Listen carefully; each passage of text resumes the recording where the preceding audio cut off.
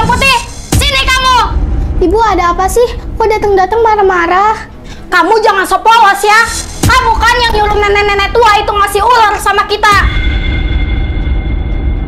Heh, malah ngelamun lagi. Hei bawang putih, sebagai hukumannya kamu nggak boleh makan sampai nanti malam. Ngerti? Bawang merah, kamu jahat sekali ya.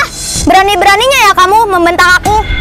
Udah Jaya, hiraukan aja bawang merah. Jangan macem-macem ya. Kalian tuh cuma anak pengembala. Aduh. Ups, maaf Bang Putih, aku gak sengaja. Bawang merah jangan sengaja dong, aku lagi ngepel, capek tahu. Kan aku udah bilang, aku nggak sengaja. Hai bawang putih, berani-beraninya kamu ngebentak bawang merah. Sana ngepel lagi. Ayo bawang merah, kita makan. Eh Bu,